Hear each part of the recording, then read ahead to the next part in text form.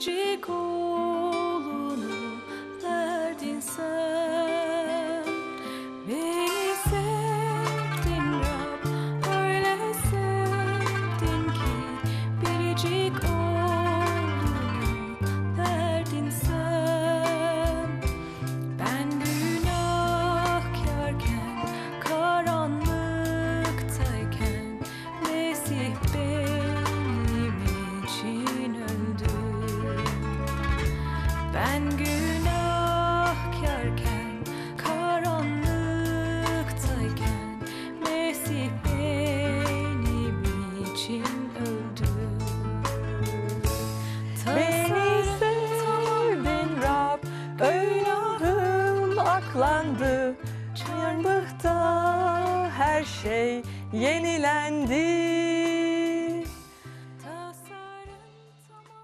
Tasarın tamamlandı, günahım aklandı, çarmıhta her şey yenilendi.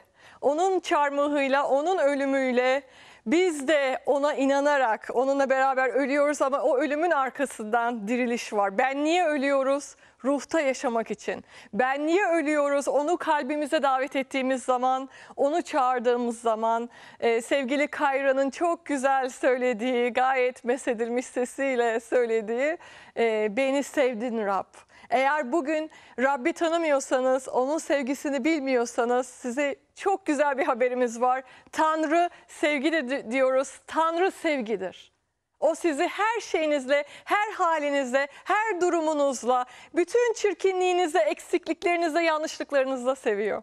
Her zaman olduğu gibi bugün sizlerle kalpten kalp- kalbe Tanrı'nın Rabbin sevgisini paylaşacağız. Onun sözünü paylaşacağız sizlerle. Bir oturun arkanıza yaslanın. Düşünün bakalım. Bana yazıyorsunuz düşüncelerinizi.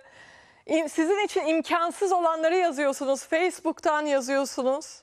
Bir canlı yayında daha sizlerle beraberiz. Ee, lütfen telefonlarımız açık bizi arayabilirsiniz.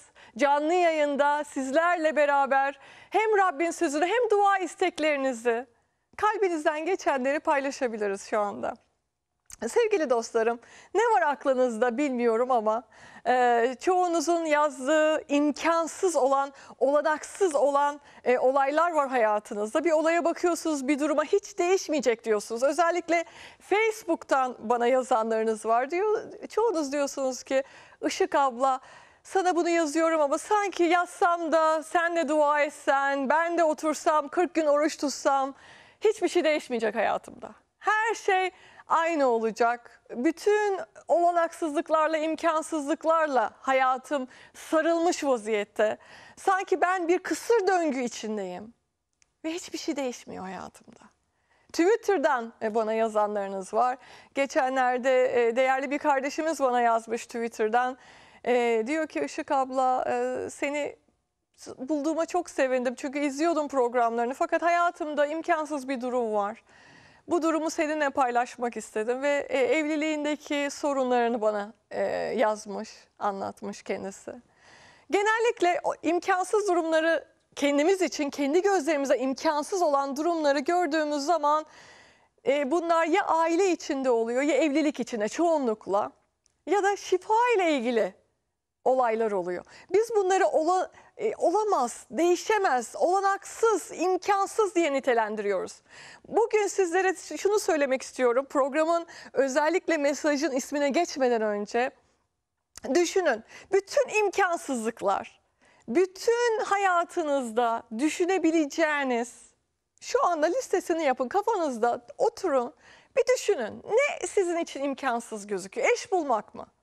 Şifa almak? Ne imkansız? Ben davet ediyorum sizi şu anda. Düşünmeye davet ediyorum. Şöyle bir kalbinizi dinleyin. Bir dinleyin. Eğer İsa Mesih'in takipçisiyseniz nedir sizin için kalbinizde imkansız olan? Bugün bunu konuşacağız. Olamaz dediğiniz ne var hayatınızda? Olamaz dediğiniz. Şimdi size göstermek istediğim eee, imkansızı başarabilmek. Ne, ne için uğraşıyorsunuz? Neye çalışıyorsunuz? Ve neye bakıyorsunuz da ben bunu başaramam diyorsunuz? Bakın şu anda eee, inanılmaz imkansız olanı değil mi? Filmde e, Tom Cruise'un filminde gördüğümüz gibi tek eliyle dağa tırmanıyor. Bir taraftan başka bir tarafa atlıyor. Ne kadar yüksekten?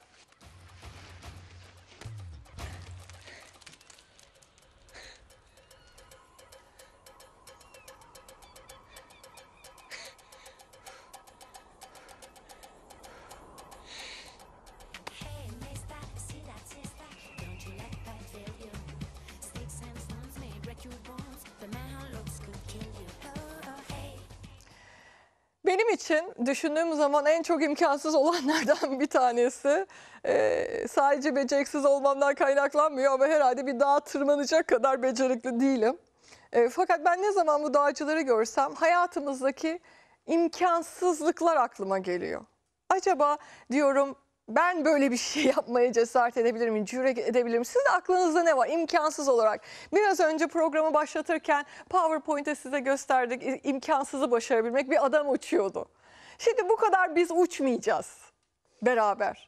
Uçmaya çalışmayacağız. Fakat imkansızlıkları başarabilmemiz için, imkansızlıkların üstesinden gelebilmemiz için nelere ihtiyacımız olduğunu ve nasıl imkansızlıkları başarabileceğimizi beraber öğreneceğiz. Kutsal kitap ne diyor?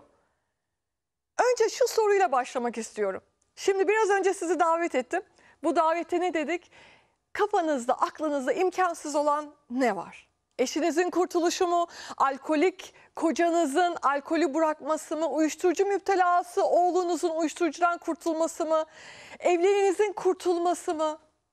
Nedir kafanızda sizin için imkansız olan? Çok iyi bir eş bulmanız mı? Hayatınızın finansal olarak değişmesi ve refaha çıkmanız mı? Parmağınıza nohut taşı büyüklüğünde bir pırlanta takmanız mı? Ya da Hawaii'ye tatile mi gitmeniz ya da Maldiv adalarına? Nedir sizin için çok imkansız görünen? Bir yaslanın arkanıza ve düşünün dedik. Bundan sonraki öbür size gelen sorum şu. Bu imkansızlığı düşündüğünüz anda taptığınız ve inandığınız Tanrınız ne kadar büyük? Onun boyutu ne?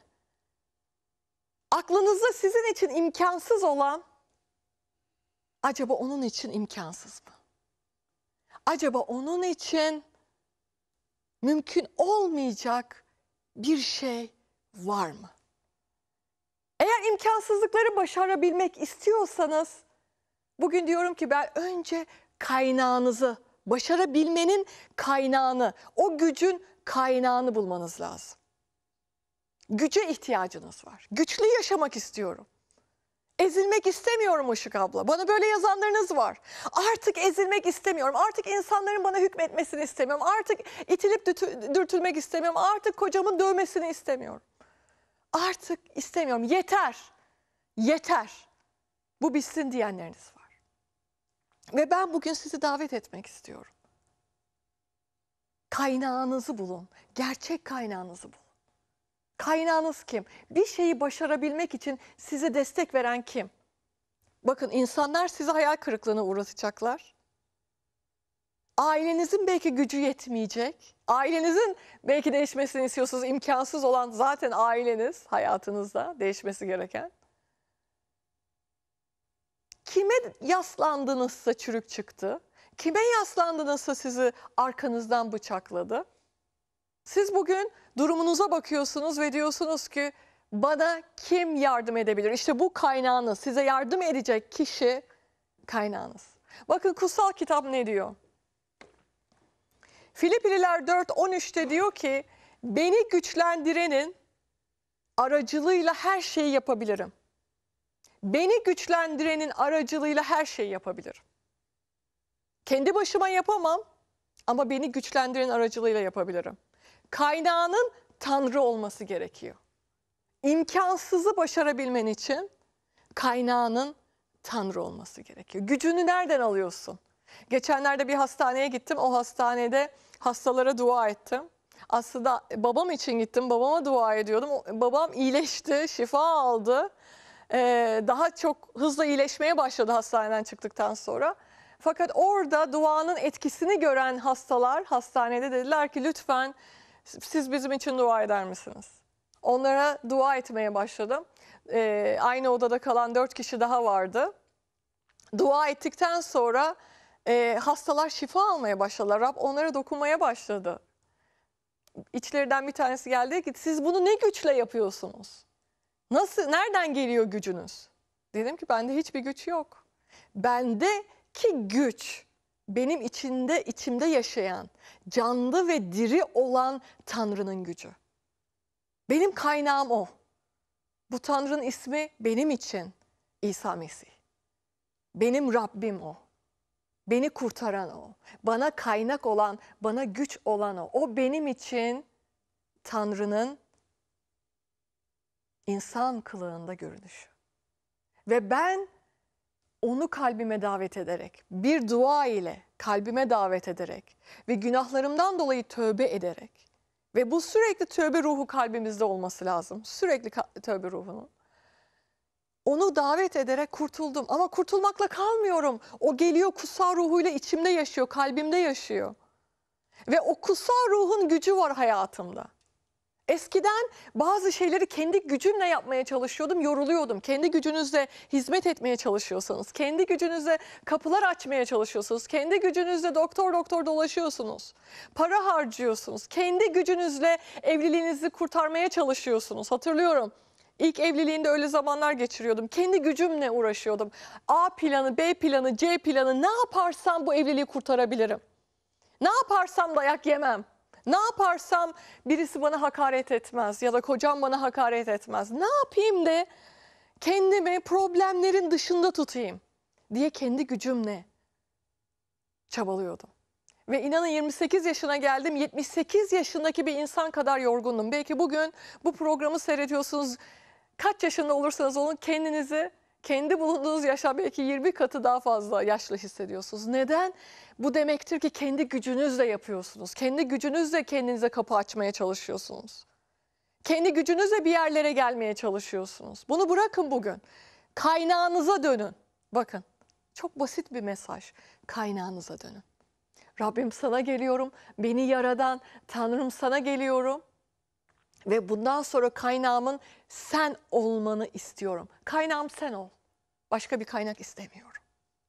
Bir tek seni istiyorum. Ona gittiğiniz zaman onun kaynağı sınırsız, onun kaynağı limitsiz, onun kaynağı sonsuz. Paranızı harcarsınız, paranız biter. Gençliğiniz biter, güzelliğiniz elden gider. Neye dayanıyorsanız geçici.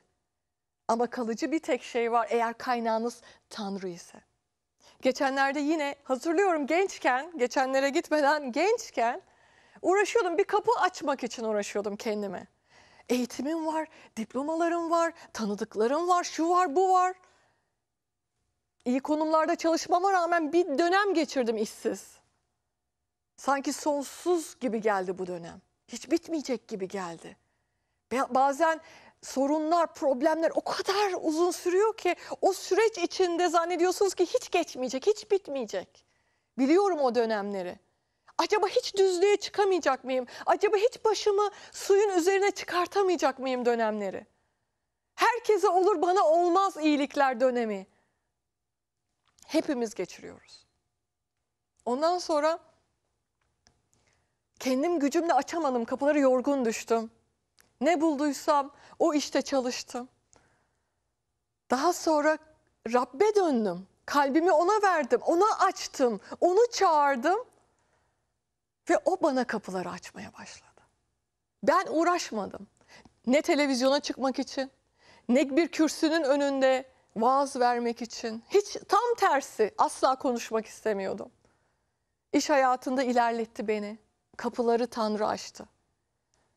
İşler, teklifler böyle ayağıma geldi ve hala geliyor.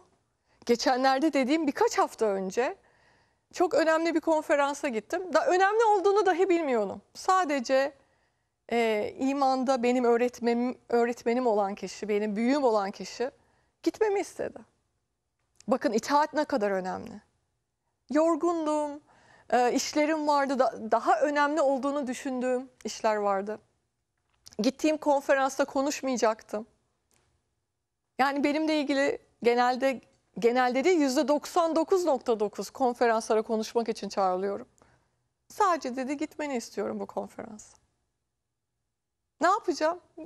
Gitmeni istiyorum ve e, söyleyeceğim bazı toplantılara katılmanı istiyorum. Konuşacak mıyım? Ha- hazırlamam gereken bir şey var mı? Hayır hiçbir şey yok. Sadece gitmeni istiyorum. Eğer kalbine Rab bir şey söylerse paylaşırsın. Peki. Çıktım bambaşka bir ülkeye. Daha önce hiç gitmediğim bir diyara. Konferansa gittim, toplantıya gittim. Benimle ilgili hiçbir olay yok. Sonra baktım konferansta çok önemli kişiler var. Son derece büyük organizasyonların, büyük hizmetlerin başında kişiler var. Gittiğim zaman bile düşün ya ben burada ne yapacağım? Ben bu iş ilişkilerinde de o kadar iş hayatından gelmeme rağmen bakın hep Rab açtı kapıları diyorum size. Kendim öyle çıkarıp işte bu benim kartım, bu benim telefon numaram, bu şöyle ay böyle yapıyoruz, şöyle çalış. Asla içimde olan bir şey değil. Bunun için enerji bakın enerji sarf etmem gerekiyor. Çaba ver, göstermem gerekiyor. Gittim.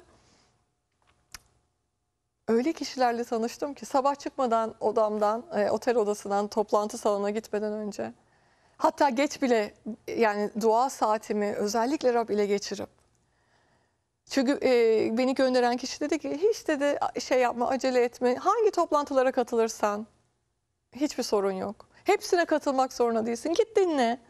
E ben de zaten yorgundum. Zaten 20 küsür saatlik bir uçuştan geç e, uçuş geçirmiştim. Uçmuştum. Yorgundum. Sabah 10 11'de toplantıya gidiyorum. Bir, birkaç gün kalacağım. Herkes 7'lerde 8'lerde koşturuyor. Kartlar değiştiriliyor. İşte biz şunu yapıyoruz. Bunu bu televizyon şu bu. Herkes konuşuyor. Hiç ben Rab ile zamanımı geçiriyorum. Hatta konferansa giden başka tanıdığım arkadaşlarım vardı. Bana SMS geçiyorlar. Diyorlar ki Işık ne yapıyorsun? Neredesin? Ya bir yüzünü göremedik. Kahvaltıya gelmedin. Ben onlara geri cevap yazıyordum. Şu anda dünya tarihinin en önemli kişisiyle beraberim. Tabii onlar kimden bahsettiğimi biliyorlar. Peki diyorlar hiç bir daha ısrar yok. Daha otel odasının kapısından çıkıp toplantı salonuna girdiğim andan itibaren Tanrı'nın bereketleri, kapılar, onun e, her bakımdan, her bakımdan hazineleri sanki önüme döküldü. Sanki kır, her gittiğim yerde önüme kırmızı halı serildi. Neden? Ben önemli, bakın bu, çok dikkat edin buna. Ben Işık abla olduğum için değil, önemli bir kişi olduğum için değil, asla, asla. Birincisi itaat ettiğim için. İtaat çok önemli. İkincisi ilk önce Matta 6.33 ne diyor? İlk önce onu ve onun krallığını aradığım için.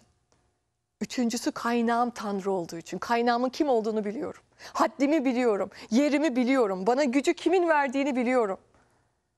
Beni kimin kurtardığını biliyorum. Önüme kırmızı halıları kimin serdirttiğini biliyorum. Eğer kaynağım kendim olsam, bende bu güç var, bende bu yetenek var, bende bu cesaret varla gitsem öyleleri çok.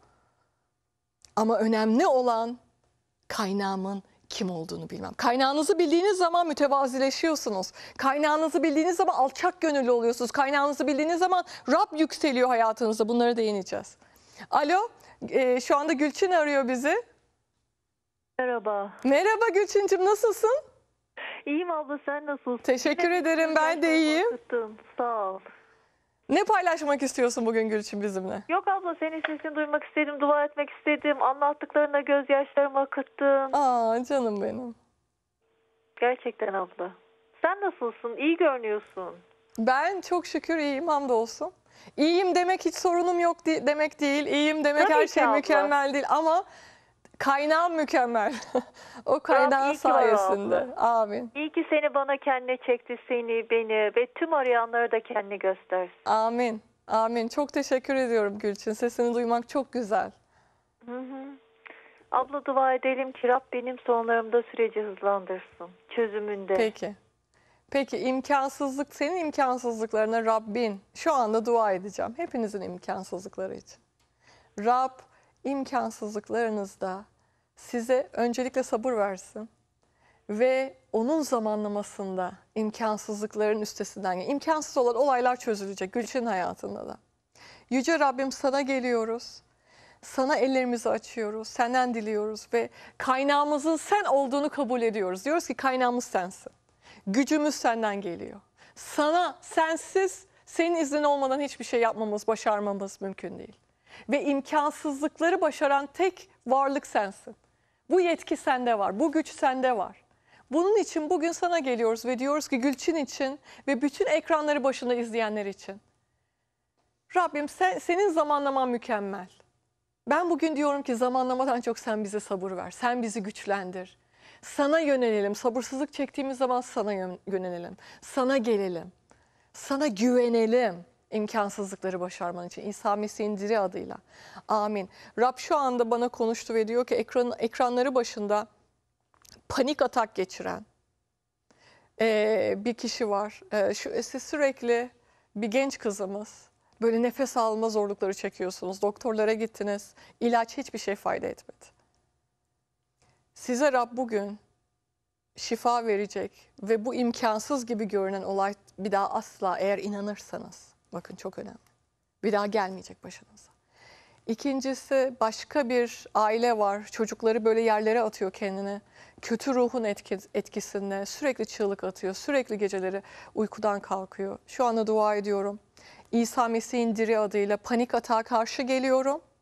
Ve bu kötü ruhların etkisiyle kendini yerden ye- yere atan, konuşma sorunu çeken e, bu küçüğümüz için de dua ediyorum. Rab onu tamamen, tamamen kurtarsın ve şifa versin hiçbir zaman kötü ruhlar bir daha ona yaklaşamasınlar. İsa Mesih'in diri adıyla şu anda evinize, e- ev halkınıza konuşuyorum. Rab size dokunsun şu anda. Panik atak gideceksin. İsa Mesih'in adıyla seni kovuyorum panik atak. Kötü ruhların bu saldırdığı çocuk şu anda İsa Mesih'in diri adıyla özgür bırakılacak. Başka içinizde özgürlüğe kavuşmak isteyen, kötü ruhlardan dolayı özgürlüğe kavuşmak isteyenleriniz var. Cinlerin tesiri altında olanlarınız var. İsa Mesih'in adıyla şu anda o cinleri kovuyorum. Evet bir söz, bir söz İsa Mesih'in adıyla onun diri ismiyle bir söz evinizi şu anda temizlesin. Bütün kötü ruhlardan İsa Mesih'in diri adıyla. Melekler doldursun odanızı, evinizi. Aydın Bey bağlanıyoruz şu anda. Alo, iyi akşamlar efendim. İyi akşamlar, nasılsınız? Teşekkür ediyorum. E, şu an bizi dinleyen herkese Rab esenlikler versin diyorum. Amin. Kimseyi imkansızlıklarla baş başa bırakmasın ve bırakmayacağına inanıyorum. Amin. Her zaman yanımızdadır. Bize Çok yardımcı güzel. olacağına yürekten inanıyorum. E, ben e, hanımım biraz e, moralimiz bozuk. Kusura bakmayın. Dua edeceğim. Ne oldu? Havzada biliyorsunuz huzur evinde Evet. yakınımız vardı evladını kaybeden. Evet. Ee, biz maalesef İzmir'deydik ve istenmeyen bir durum oldu. İntihar etmeye kalkmış. Evet. Kendisini yüksek bir yerden atmış. Ee, Rabbe çok şükür ölmemiş fakat e, omuriliği zedelenmiş ve şu an yürüyemiyor. Özellikle sandalye almak zorundayız kendisine. Öyle bir aramızda biz kampanya başlattık. Bu arkadaşımız, bu kardeşimiz için dua isteyeceğiz. Evet. Hemen de hemen dua edeceğim. Evet. bir de, bir de şunu söylemek istiyorum. Ee, intihar bütün dinlerde e, kabul edilemez bir şeydir. Biz öyle biliyoruz. Evet. E ben şunu söylüyorum. Rab İsa'nın dediği gibi hani kendisini çarmıkta ölüme Evet. terk edenler, gibi o ne yaptığını bilmiyorum. Onu Evet. Evet. Aynen öyle. Bunun Çok doğru. yapacağız. Ee, bir ikincisi de sizden şunu rica ediyorum. Bu Havza Huzur Evi'nde yatan arkadaşımız için kitap gönderme imkanınız var mı acaba? Ee, tabii tabii lütfen ar- e, e, telefondaki arkadaşlarla e, irtibatta olun. Özellikle Pastör Serkan ile. Ee, çok seviniriz e, Aydın kardeşim. Ee, e, sizden rica ediyorum. E, Ve özellikle intihar konusunu gündeme getirdiğiniz için bu programda e, size teşekkür etmek istiyorum. Çünkü biraz e, sonra ona değinecektim zaten.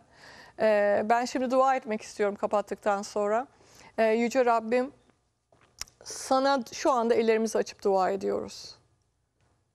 Özellikle bu intihar ruhuna karşı geliyorum şu anda İsa Mesih'in diri adıyla. Ve bu intihar ruhuna insanların sahip olmasının sebebi bu imkansızlıklar. Hiçbir şeyin değişmeyeceğine inanmaları. Hiçbir şey düzelmeyecek. Hayatım daha iyiye gitmeyecek. Hayatım berbat olacak. Hayatım düzelmeyecek. Olanaksızlıklar, olanaksızlıklar, olanaksızlıklar sanki kendilerini dört duvar, kendi ruhani dünyalarında dört duvara hapsetmiş durumdalar. Ve ben bugün bunun zincirlerini kırıyorum. Bu ruhun zincirlerini kırıyorum. İsa Mesih'in diri adıyla.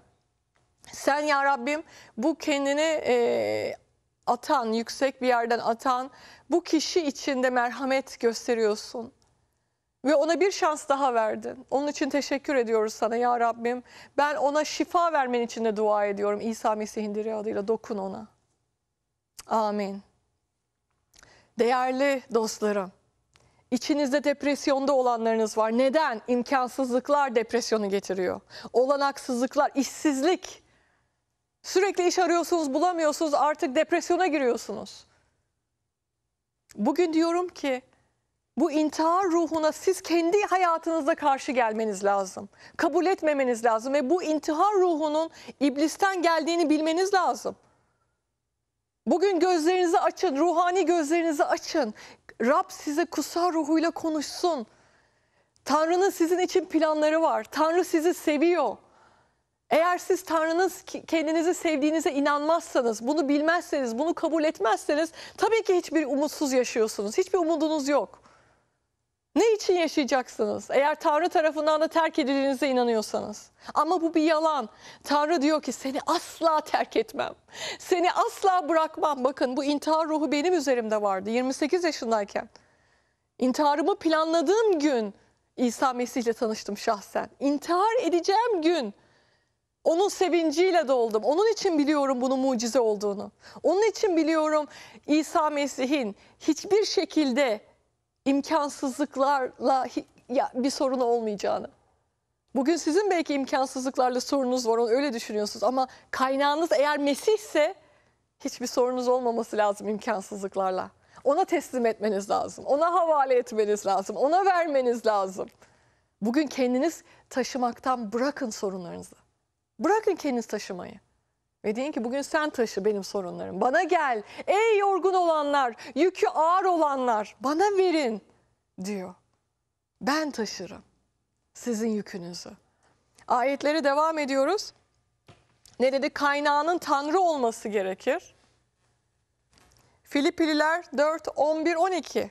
Çünkü ben her durumda eldekiyle yetinmeyi öğrendim. Her durumda. Yoksulluk çekmeyi de bilirim. Ben de bunu şahsen söylüyorum Işık abla olarak. Yoksulluk çekmeyi de bilirim. Bolluk içinde yaşamayı da. İster tok, ister aç, ister bolluk ister ihtiyaç içinde olayım. Her durumda, her koşulda yaşamanın sırrını öğrendim. Parayla da yaşamayı biliyorum, parasız yaşamayı da biliyorum. Her şekilde her şekilde yaşamayı biliyorum. Bunun sırrını öğrendim. Bunun sırrını biliyor musunuz? Geçen hafta bahsettim size. Şikayet ruhunu bırakmanız. Şikayet ruhundaysanız sürekli şikayet şikayet şikayet söyleniyorsanız imkansızlıkları başaramazsınız. İmkansızlıkları başarmak istiyor musunuz? Şikayet ruhunu bırakacaksınız. Şikayet ruhunu bırakmak bir durumu ka- kabullenmemek demek değil. Bir durumun ne ne kadar kötü olduğunu bilmemek, göz ardı etmek değil. Kocanız alkolik. Görüyorsunuz durum kötü. Durum kötü. Fakat sürekli kocam alkolik bu hiç değişmeyecek. Bu şekilde negatif konuşmanız durumunuzu değiştirmeyecek. Daha çok durumunuzu yokuşa sürecek. Evet, durum bu. Bu beni üzüyor, ailemi üzüyor. Ama Tanrı bunu bu- yapabilir. Tanrım bunu sen yapabilirsin. Tanrım artık şu vermeyi, teslim olma ruhunu öğrenin. Kendiniz düzeltemeyeceksiniz adamı. Kendiniz düzeltemeyeceksiniz karınızı. Yapamayacaksınız. Bari teslim edin, Rab yapsın. Siz yapmaya çalıştıkça Rab elini çekiyor. Diyor ki sen yapmaya uğraşıyorsun zaten beni tanımıyorsun. Neden elini çekiyor düzeltmek istemediği için değil. Siz onun işine karıştığınız için. Siz onun işine karışıyorsunuz. Onun işinin önünde engel oluyorsunuz. Kendiniz insanları değiştirmeye, düzeltmeye çalışıyorsunuz. Eskiden ben öyle derdim. İnsanların değişmesi imkansız. Asla insanlar değişemezler. Yalan. Rab beni değiştirdi. Hala değiştiriyor. Hala eksikliklerimi tamamlıyor. Yanlışlarımı düzeltiyor. Hala. Ama şöyle bir baktığım zaman 14 sene öncesiyle bugüne baktığım zaman aradaki farkı görüyorum. Ama iblis geliyor diyor ki hiç değişmeyeceksin. Hala hata yapacağım. Suçluluk duygusu içinde yaşamanızı da istemiyor Rab. Bugün sizi özgür bıraksın Rab suçluluk duygusunu. Artık suçluluk duygusuyla yaşamıyorum. Tamam tövbe ruhuyla yaşıyorum ama suçluluk duygusuyla yaşamıyorum. Arada fark var. Hata yaptım, af dileyeceksin. Ondan sonra devam edeceksin. Hata yap, af dile devam et. İblis geleceğinizi bilmiyor. Geleceğinizi bilmediği için de sizi geçmişte yaşatmaya çalışıyor. Ve bu geçmiş dün dahi olabilir. Bu geçmiş öğle, öğlen yediğiniz yemek sırasında bile olabilir. Canınızı sıkan bir olay. Af dileyeceksin. Kendini sirkeleyeceksin. Rabbe döneceksin. Kaynağım sensin diyeceksin. Devam edeceksin. Bırakın geçmişte yaşamayı artık. Bazılarınız için bu imkansız gözüküyor. Geçmişte yaşayamamak imkansız. Hepiniz geçmişte yaşıyorsunuz. Çoğunuz. Matta 17, 20, 21 şöyle söylüyor. İsa imanınız kıt olduğu için karşılığını verdi. Neden diyorlar? İmanınız biz yapamadık, imanınız kıt olduğu için dedi. Size doğrusunu söyleyeyim. Bir hardal tanesi kadar imanınız olsa, bir hardal tanesi kadar imanınız olsa, şu da buradan şuraya göç dersiniz, göçer. Sizin için imkansız bir şey olmayacak. İman. Bir şeyi başarmak istiyor musunuz? İmkansızı başarmak istiyor musunuz? İmanınız olacak. İman edeceksiniz. Benim imanım İsa Mesih'te. İsa Mesih'in Rabbim olduğunu kabul ediyorum. Sizin için ah haşa aman böyle büyük günah böyle bir şey cüret olamaz. Allah doğurmamıştır doğurmamıştır. Bunu biz de biliyoruz. Ta- Tanrı'nın insan suretindeki görüntüsü. Ben İsa Mesih'in kim olduğunu biliyorum. Ben bugün sizi bakın sizi Hristiyan yapmak gibi bir amacım asla yok. Aa ya diyorsunuz belki. Evet. Aynen öyle. Hayır. Kesinlikle. Çünkü ben kimseyi değiştiremem. Bende bu güç yok. Bakın. Sizi ancak Tanrı'nın kutsal ruhu değiştirebilir. Ben kimseyi Hristiyan yapamam. Ve bir de Hristiyan olmayın. Lütfen olmayın. Gerçekten olmayın. Bir dini bırakıp başka bir dine, geçmeyin. Dindar olmayın. Tanrı dindarlık istemiyor. Tanrı sizinle dost olmak istiyor. Tanrı sizinle dostluk ilişkisi, sevgi ilişkisi kurmak istiyor. Bu kadar basit. Onun oğlu kızları olmanızı istiyor. İsa Mesih'in oğluyla kızlıyla. Lütfen din, dindar olmayın. Ay bu dini bıraktım bu dine geçmeyin. Futbol takımını bırakıp fut- futbol takımını değiştirir gibi. Ben bugün sizi bir tek şeye çağırıyorum. Bundan sonra kendi dilinizle bakın. Bunda hiçbir yanlış yok. Kendi dilinizde Türkçe mi konuşuyorsunuz? Farsça mı konuşuyorsunuz? Almanca mı? Ne konuş? Hangi dili konuşuyorsanız kendi dilinizle dostunuzla konuşur gibi yaradanınızla konuşun. Bakın. Yaradanınızla konuşun. Yaradana seslenin. Beni yaradan seni bilmek istiyorum. Bu kadar basit. Bir de bazılarınız bana yazıyorsunuz diyorsunuz ki Tanrı kelimesini işte yavurlar kullanıyor. Biz Allah deriz Işık abla ama bravo size. Şak şak hemen alkışlayalım size. Allah kelimesi Arapça bir kelime. Tanrı kelimesi Öztürkçe. Bunu biliyor muydunuz? Bu benim uzmanlık alanım. Tanrı kelimesi Göktürk yazıtlarına gidin bakın Tengri olarak geliyor. Tanrı Öztürkçe bir kelime bu kadar basit. Siz Arapça olarak kullanmak istiyorsunuz Allah kelimesini. Allah, al bir demek, lah, ilah demek. Bir ilah. Arapçasını söylemek istiyorsunuz söyleyin buyurun söyleyin. Yani sizin Allah demeniz benim Tanrı öz Türkçesini kullanmam sizi benden ya da benim inancımdan daha büyük yapmıyor. Ama siz öyle inanmak istiyorsanız, öyle düşünmek istiyorsanız buyurun düşünün, inanın. Fakat benim bugün size davetim şu. Bırakın isimleri, din, din ismini, şunu bunu. Bugünden itibaren eğer hayatınızda imkansızlıklar varsa, eğer bugüne kadar bu imkansızlıkları inançlarınızla hiçbir şeyle çözemediyseniz, bunu bana bu programdan önce özellikle sizi davet etmek istiyorum. Müslümanları, Müslüman seyircilerimi, sevgili izleyicilerimi davet etmek istiyorum.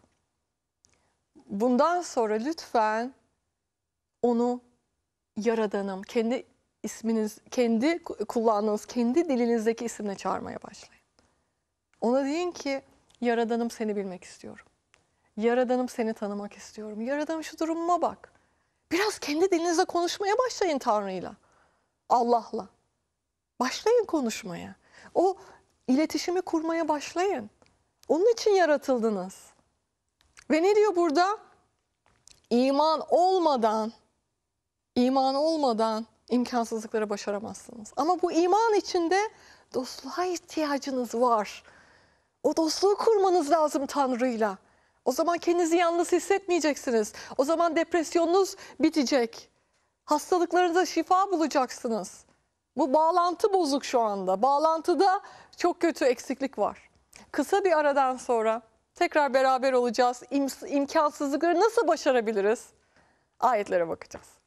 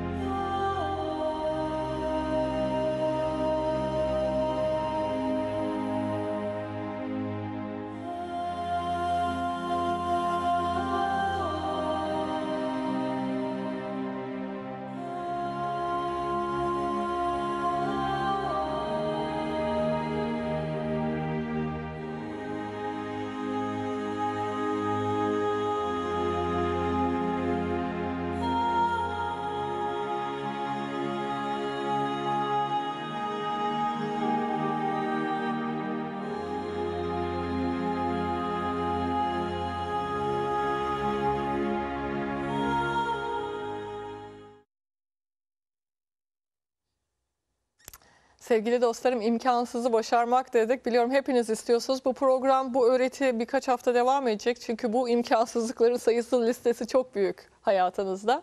Şu anda bizi Vahide arıyor Almanya'dan. Kendisine bağlanıyoruz. Alo. Alo Işık Hanım. Canım Vahide Hanım nasılsınız? Esenlikler. Esenlikler, sevgiler. Nasılsınız? Teşekkür Tanıdın ederim. mı beni? Tabii tanıdım. Sesinizi duyduk. Daha iyi olduk Vahide Hanım. Ay ben de inan ki ben sizi bir hafta görmezsem çok rahatsız oluyorum. Canım Alıştım benim. artık o güzel sesini, güzel yüzünü görme inan ki biz de alıştık. Canım benim. Teşekkür ediyorum. Yine şey muhtacımdı. İşim çıktı senin Işık Hanım ya. Oğlan kardeşim çocuğunu hanımı bırakmış. Ona doğada ihtiyacımız var. Aa, bir daha tekrar eder misiniz? Duyamadım sizi. Oğlan kardeşim. Evet. Çocuklarını hanımı bırakmış. Başka hanıma gitti. Evet. Onun için bir dua edelim çocuklarına hanıma dönsün. Amin. Hemen dua edeceğiz. Ee, bu, Lütfen. e, bu bu yuva e, dağılmasın. Belki şu anda imkansız gözüküyor fakat bunu Tanrı değiştirebilir değil mi? Kalbini Tanrı değiştirebilir. Onun Onu için bilmiyor. O Dua ettim o bilmiyor. Ama Ama, Rab- ama, Allah biliyor Işık Hanım. aynen öyle. Ee, şimdi kapattıktan sonra dua edeceğiz. Ee, özellikle şu anda evlilikler için dua etmek istiyorum. Bu evlilik içinde çocukları olanlar, e, evlilik kesinlikle kurtulmayacak. İmkansız. Kocamın değişmesi imkansız, karımın değişmesi imkansız. İşte bu evliliğin kurtulması imkansız. Bütün bu söylediğiniz olumsuz sözler evliliğinizin üstüne siz böyle kehanette bulunuyorsunuz. Düzelmeyecek, düzelmeyecek. Ve gerçekten çok yani e, çeken bilir diye bir söz var. Gerçekten çok kötü evlilikler de var. Bunu biliyorum. Bunu kesinlikle göz ardı etmiyorum. Bunu anlamanızı istiyorum. Fakat şimdi dua edelim. Tanrı değiştirsin kalbini bu kişinin ve evine çocuklarına geri dönsün. İsa Mesih'in diri adıyla bütün evlilikler için dua ediyorum. Bütün imkansızlıklar için dua ediyorum. Rab sen eşlerin kalbini düzelt, değiştir.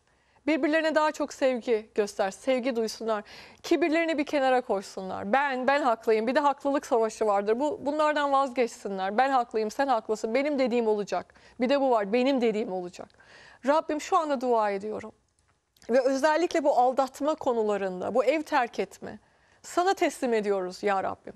Sende bu değiştirme güç var. Bu kişinin kalbine dokun ve evine çocuklarına geri dönsün. Tamamen ailesine bağlı bir koca olsun. İsa Mesih'in diri adıyla dua ediyorum. Amin. Geçenlerde böyle birisi için dua ettim. Evini terk etmiş. Ee, karısını terk etmişti başka bir kadın için. Birden diyor kendi bana yazmış diyor Işık abla birden o beraber olduğum kadınla ben du- dua ettim onun için. Dedim ki birden aralarına bir soğukluk girsin. Ee, gittiği kadın bir de öyle dua ettim. Onu evden alsın. Kime kime gittiyse karısını terk edip metresi onu terk etsin. diyor ki yazmış. e, Işık abla metresi beni attı. Sonra karım bana dedi ki o size yazmış dua etmeniz için. E, evime geri döndüm. Yani düşünün kocası da yazıyor bana. Size teşekkür etmek istiyorum. E, Rab ne yapacağını, nasıl yapacağını biliyor. Bu yüzden ona gittiğimiz zaman zaten duanın amacı bu. Onu yüceltiyorsunuz dua ettiğiniz zaman sorunlarınız için. Hemen bir sorunuz olduğunda başkasına gittiğiniz zaman Rabbi küçültüyorsunuz. Başkalarına hemen danıştığınız için, başkalarından medet umduğunuz için, insana kula gittiğiniz için Tanrı'yı, Allah'ı küçültüyorsunuz. Ama ilk ona gittiğiniz zaman, ilk bana destek ver, bana yardım et dediğiniz zaman o zaman onu yüceltiyorsunuz. Şimdi e, başka bir videomuz var. Bakın bu videoya geçmeden önce çok önemli yani önemli bir video değil aslında ama imkansızı başarmak. Adam uzaydan paraşütle yeryüzüne atlıyor. Okay, uh, do you read me, Felix? Jumper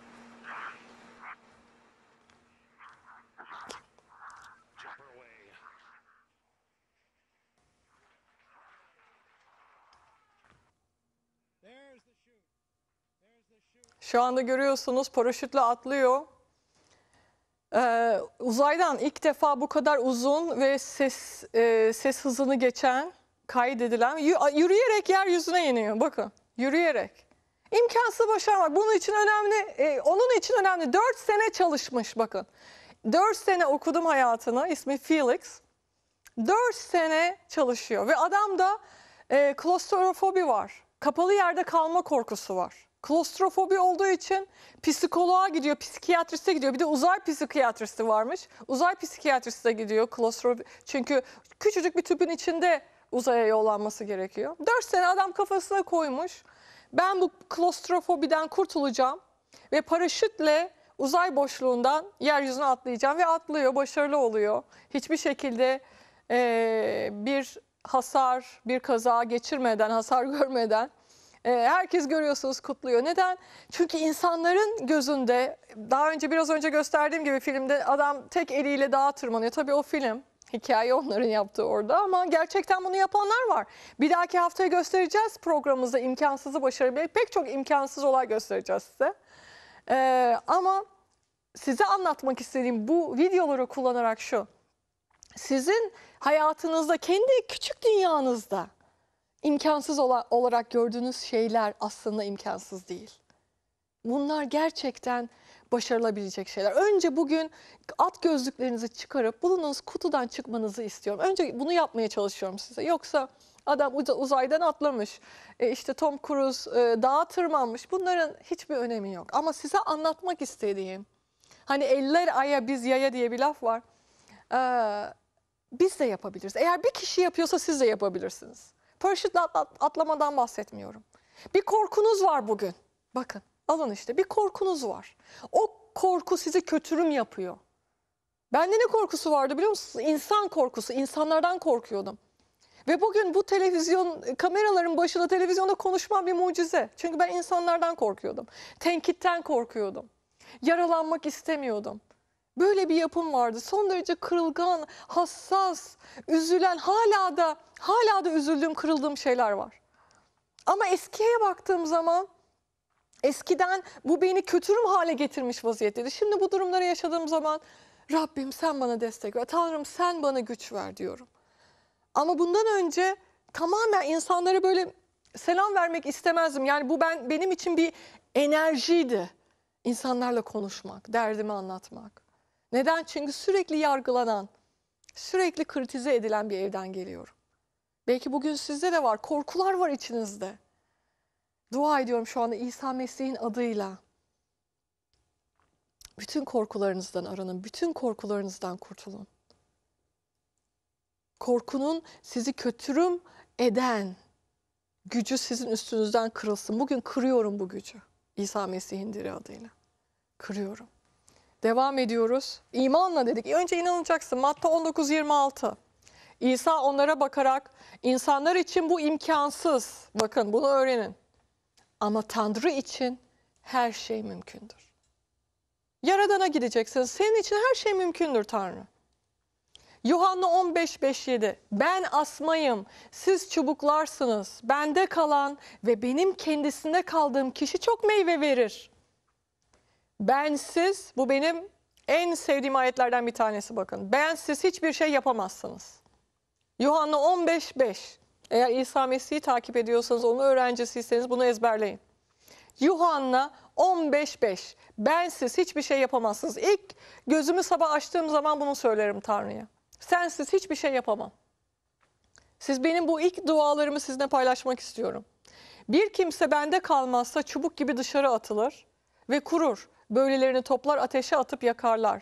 Eğer bende kalırsanız ve sözlerim sizde kalırsa ne isterseniz dileyin size verilecektir.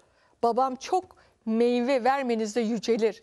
Böylelikle öğrencilerim olursunuz. Yüceltilir. Babam çok meyve vermenizle yüceltilir. Demek ki Tanrı istiyor sizin meyve vermenizi. Tanrı istiyor sizin imkansızlıkları başarmanızı. Yuhanna 15.8 bakın tekrar ediyorum. Babam çok meyve vermenizle yüceltilir. Tanrı'nın yüceltilmesi gerekir. İm- İmkansızlıkları başarmak istiyor musunuz? Tanrı'nın yüceltilmesi lazım. Demek ki bir imkansızlıkları başaracaksınız. Fakat Tanrı'yı değil kendinizi yücelteceksiniz. Demek ki belki de onun için imkansızlıkları başaramıyorsunuz. Tanrı size güce- güvenmiyor. Bir şey olduğu zaman hayatınızda, iyi bir şey olduğu zaman hemen Tanrı'yı yüceltmeniz lazım. Sorun pek çoğunuzda buradan kaynaklanıyor. Ben yaptım. İşte makyajım, saçım, başım harikaydı. Gittim, konuştum, ettim. Herkes bana hayran kaldı, bayıldı. Geldiler, önüme kırmızı halı serdiler. Dediler aman gel. Burada da konuş, şurada da konuş. Al bütün dünya ayakların altına. Bütün hazineler senin olsun. Neden? Çünkü herkes kaşıma gözüme bayıldı. Ama kendi yerinizi bildiğiniz zaman bütün bunlar yapıldı. Rab kapılar açtı. Parmağımı bile kımıldatmadım. Ama neden? Çünkü Rab öyle istedi. Çünkü bunları yapan Tanrı'ydı. Çünkü o iyi bir Tanrı'dır. Çünkü bende hiçbir iş yok. Bende hiçbir güç yok. Bende hiçbir yetenek yok. Bana her şeyi veren O'dur. Onsuz Yuhanna 15.5. Hiçbir şey yapamam. Ondan ayrı hiçbir şey yapamam. Bir kere bununla başlıyorum gücü. E, İlk günümü bununla başlıyorum. Sabah daha yataktayım, gözümü açtım. Sensiz hiçbir şey yapamam. Ama Filipililer 4.13 diyor ki senin verdiğin güçle her şeyi yapabilirim. Sen olmadan hiçbir şey yapamam. Yuhanna 15-15 bakın bunlar benim hayatımın başarılı olmak istiyor musunuz? İmkansızlıkların üstesinden gelmek istiyor musunuz? Bunlar benim anahtar ayetlerim. Sizinle paylaşıyorum bugün. Yuhanna 15-15. 15-5. Sabah kalktığım zaman kaynağım sensin. Ne diyor? Ben asmayım siz çubuklarsınız diyor. Ne demek bu? Kaynağınız benim. Sen benim kaynağımsın. Sensiz hiçbir şey yapamam. Yuhanna 15-5. Filipililer 4-13'te senin aracılığınla her şeyi yapabilirim. Senin aracılığınla her şeyi yapabilirim. Ondan sonra başka dualarım daha var. Tanrım sana ihtiyacım var. Bugün bunu söylüyorum size. Yaradanınızla konuşun. Sana ihtiyacım var. Senin sevgini bugün kabul ediyorum. Senin sevgi yağmurunu bugün kabul ediyorum. Beni ıslat yağmurunla donat. Sağanak bir yağmur gibi. Her sabah. Ve bu dostluğu, bu ilişkiyi devam ettirmeniz lazım. Devam ediyoruz. Demek ki Tanrı'yı yücelteceksiniz. Tanrı size güvenecek bir mucizeyi yapmak için hayatınızda. Yuhanna 11.4 diyor ki İsa bunu işitince bu hastalık ölümle sonuçlanmayacak. Tanrı'nın yüceliğine, Tanrı oğlunun yüceltilmesine hizmet edecek dedi.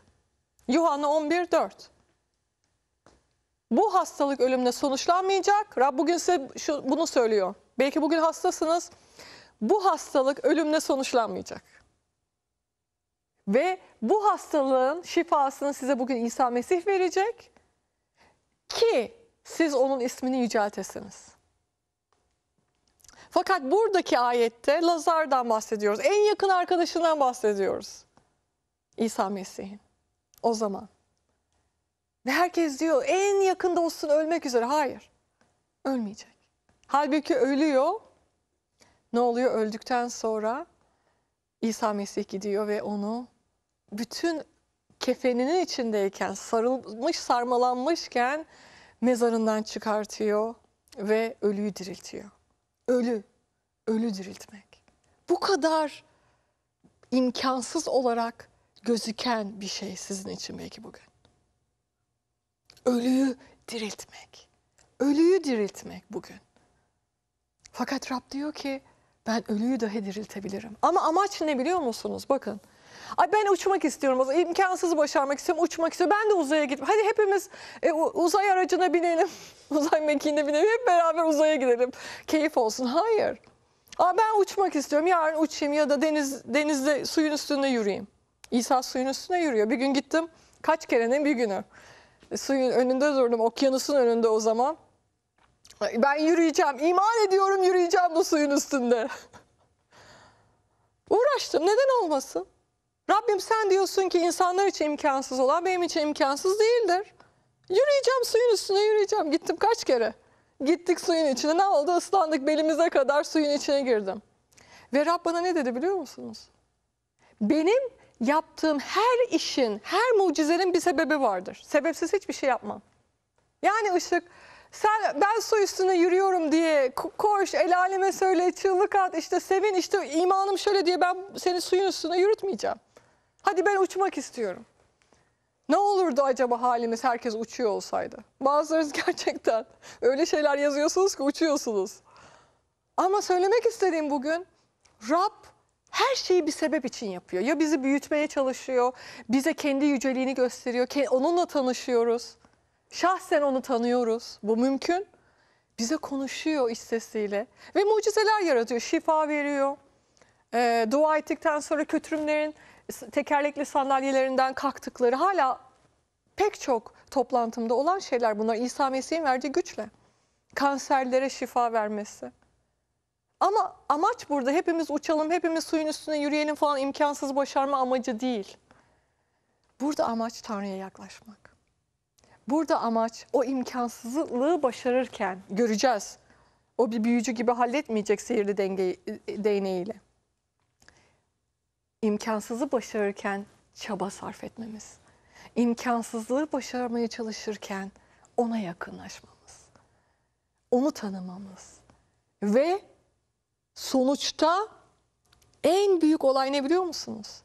Onun yüceltilmesi. Bütün olay bu. Eğer bir topluluğa giriyorsanız pek çok şey oluyorsa ama onun ismi yüceltilmiyorsa ne önemi var? Onun isminin yüceltilmesi lazım. Burada ne diyor? Bu ölüyü diriltecek, Tanrı oğlunun yüceltilmesine hizmet edecek diyor. Merhamet etmek ve acımak, bakın imkansızlıkları başarabilmek, merhamet etmek ve acımak. Buna çok dikkat edin. Luka 6.36 diyor ki, babanız merhametli olduğu gibi siz de merhametli olun. Pek çoğunuzda merhamet yok. Artık katılaşıyor insanların kalpleri. Matta 14 14'te diyor ki İsa tekneden inince büyük bir kalabalıkla karşılaştı. Onlara acıdı ve hasta olanlarını iyileştirdi. Onlara acıyor, merhamet ettiği için iyileştiriyor. Matta 20 34 diyor ki İsa onlara acıdı. Gözlerine dokundu. O anda yeniden görmeye başladılar ve onun ardından gittiler. İsa onlara acıyor. İsa onlara merhamet ediyor. Bazı toplantılarıma baktığım zaman neden bazılarında daha çok şifa var diye düşünüyorum. Bazı toplantılarda dediğim gibi götürümler tekerlekli sandalyelerinden kalkıp yürüyorlar. Kanser hastaları iyileşiyor.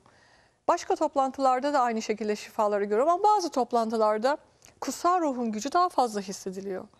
Şunu düşünüyorum iki şey en çok aklıma gelen. Tabii ki kaynağım hep İsa Mesih, kaynağım kutsal ruh ve o yapacak. Ben her zaman onun ismini yüceltmek için uğraşacağım. Fakat iki şey aklıma geliyor. Merhamet çok önemli. İçimdeki hastalara karşı merhamet o gücü ortaya çıkarıyor. İsa Mesih'in gücünü ortaya çıkarıyor. Bakın çok önemli. İsa Mesih'in ayette size okuduğum gücü nereden kaynaklanıyordu biliyor musunuz? Merhametten. Merhametin kaynağı ne? Sevgi. İnsanları sevmiyorsunuz. Ah gücümü göstereyim hadi gel iyileş. Kalk yürü hadi İsa Mesih'in adıyla deseniz. Bunun hiçbir değeri yok. Ve bundan bir sonuç alamazsınız. Ama siz merhamet ettiğiniz anda, acıdığınız anda ne oluyor biliyor musunuz? Kalbinizde bir şey cız ediyor. Kalbinizde o kişinin acısını hissediyorsunuz. Merhamet bu. Bir insana baktığınız zaman, acıdığınız zaman ne oluyor biliyor musunuz? Onun acısı sanki size dokunmuş oluyor. Sanki sizi bulaşmış oluyor onun acısı. O acıyı yaşamış oluyorsunuz. Ve o merhametin neticesinde edilen duanın gücü bambaşka. Çünkü Tanrı o duadaki içtenliği, o duadaki sevgiyi, o duadaki gerçekçiliği seviyor. Bakın çok önemli. Merhamet etmeniz, acımanız çok önemli. Ve eğer içinizde bu merhamet yoksa bu merhamet için, bu merhameti Tanrı'nın size vermesi için dua edin. İsa'da bu merhamet vardı. Gördü insanları acıdı. Merhamet dedik. İkinci sebebi de çok kişi dua ettiğim kişide de iman var. Sadece benim imanım değil. Benim imanım sanki bu şöyle düşünün elektrik kablosunu elektrik fişine takıyorsunuz. Tamam. Kaynak orada, elektrik orada ama birinin de fişi takması lazım. Birine inanması lazım. Birinin de elektrik lambasını, gece lambasının düğmesine bakıp açması lazım. Bütün bunlar iman. Birine dua ediyorum ve o kişi de inanıyor. Bugün dua ediyorum iç- sizin için. Hastalarınız için, imkansızlıklarınız için, evlilikleriniz için. İsa Mesih'in bir parça merhameti varsa kalbimde yer. Bütün bu merhametin sevgisiyle, bu bütün bu merhametin gücüyle dua ediyorum bugün size. Kalk yürü, şilteni topla yürü. Bugün dua ediyorum tekerlekli sandalyenden kalk ve havada zıpla. Bugün dua ediyorum karına dön. Bugün dua ediyorum evliliğin düz- düzelsin. Bugün dua ediyorum kalbin değişsin. Bugün dua ediyorum Tanrı'ya dön. Bugün dua ediyorum iş bul İsa Mesih'in diri adıyla. İman et. Onun kaynağın olduğuna, onun gücün olduğuna iman et bugün. Bugün dua ediyorum İsa Mesih'in diri adıyla tövbe et. Rab tövbe ruhunu kalbine koysun. Bütün hataların, bütün günahların için onun önünde eğil. Bugün dua ediyorum. Kalbine İsa Mesih'i çağır. Ve de ki gel kalbimde yaşa. Taht kur kalbimde. Günahlarımı affet. Bugün dua ediyorum Tanrı ile konuşmaya, Yaradan'la konuşmaya başla. Beni sevdin Rab, öyle sevdin ki biricik ol.